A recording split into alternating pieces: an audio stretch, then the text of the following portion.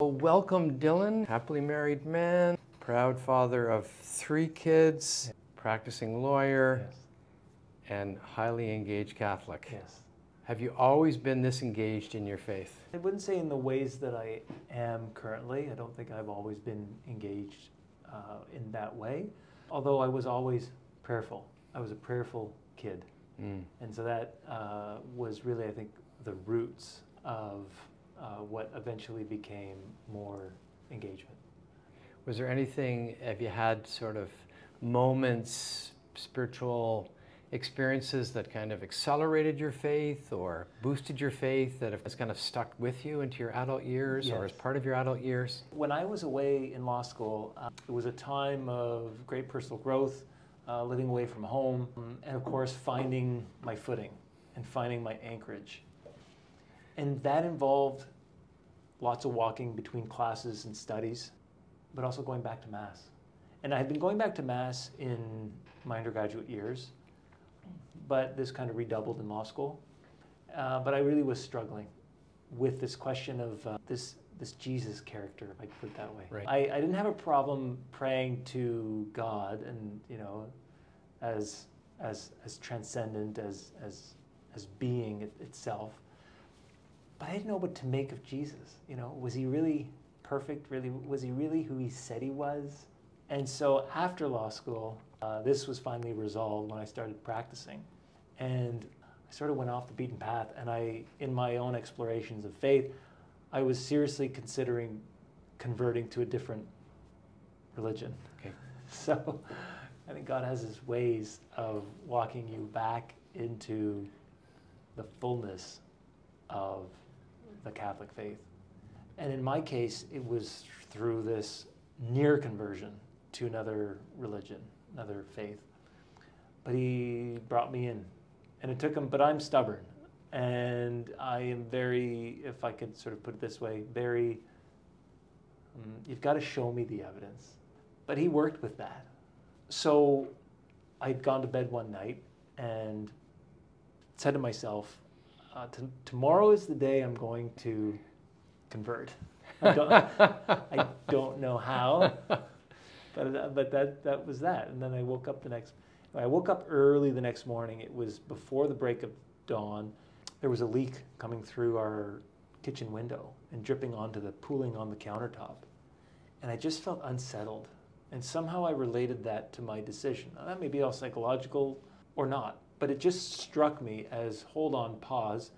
And I remember that I was reading, I was reading scripture at the time, and there was a New Testament on the kitchen table. So this is early in the morning, everyone in the house is still asleep, and I pick up the New Testament. I didn't realize this was, I think, St. Francis of Assisi's method, but I picked it up and I just sort of picked a spot and read it. And it was, I think it was a letter by St. Paul, but the bottom line was uh, there are many false prophets. Stay the course. Uh, don't don't convert away from the faith. And I thought, oh, okay. So I closed. I said, okay. Tell you what, we'll put it off for another day. And then months go by, and start flirting again with this other religion. Go to bed one night and say, tomorrow's the day. so think of the blind man. Took you know a few attempts to to remove his blindness and, and have him see. That that was me. So I wake up the next morning and I, of course, there I'm saying today's the day I'm going to convert. Well, I and, and and basically I look back at my notes and I'll sort of condense the story because this happened in quick succession. Basically, I get to my office and there's a guy parked in my spot, which never happens. So but you're- practicing uh, as a lawyer at Yes, this time? Okay. yes. Okay.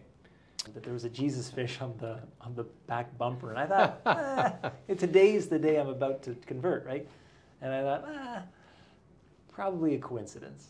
So I go to my desk and start reading my emails and LinkedIn invitation from a priest. And I thought, hmm, that's interesting. If God is, you know, trying to reach me, this is pretty high tech. You know, it's like I thought well, it could be just a coincidence. And, I- and then I got a, an email from a, a guy who was starting to take a leadership role in the church that I had been attending, although not fully. And he was inviting me to pray on a Saturday. And that had never happened before. I thought, well, maybe that's a coincidence. And then I got another email from a guy that I didn't know well. He was a friend of a friend of mine who all I knew about him was he's a very devout Christian. And he was inviting me to lunch. And this was all happening in quick succession. I thought, maybe it's just a coincidence. Then I go to a meeting with an insurance for an insurance policy with a nurse to take you know blood pressure and all this stuff. And as I'm answering questions, she says to me, she says, "Are you are you going through like a crossroads? You seem unsettled." Oh my goodness. And I thought, well, this is it. I, I, I wasn't really used to talking about faith openly. And she delved into her conversion experience where she had been in a massive accident, broken vertebrae, uh, x rays, uh, miraculous healing of her vertebrae, more x rays which showed the, the, the fractures gone. The, the physician's telling her, you know, wow, what vitamins are you on? We, there's no more fractures. Um, and then her deep conversion. And she was telling me, this, this nurse basically, like, she said, what, What's going on? I, I, told her I was thinking of converting, and she basically stopped me in my tracks and said, Don't. She says, You know, don't. You belong to Jesus. And she goes on about Jesus. And I wasn't used to talking about Jesus this way. But she's really lathering it on. I thought, Okay, well, I better pause. And then I go to a meeting shortly after that meeting. I think it was the next, I checked my notes and it was like, it was around that time. And I take instructions for a will from this new client, and at the end of the meeting, he says, "Okay, Dylan, now that we've talked about what you want to talk about, I want to discuss now what I want to talk about." Uh, that's a bit bold, but okay, you're the client. So he leans in, and he says, "How's your relationship with Jesus?" And I, I almost fell off my chair. I thought, I thought now I better. Now I, th- I said I, I submit. That was that. And I later looked back at my day book. I said, what day of the year was that? And it was the feast of the conversion of St. Paul. Oh my goodness. So, anyway, so it was from that point forward where I really started taking Jesus very seriously, as seriously as I possibly can. So, in the full Trinitarian God and, and, and worship, I started seeing uh, CCO uh, at the former Archdiocesan Center, going to Mass on Wednesdays, any chance I could. Mass, the Eucharist.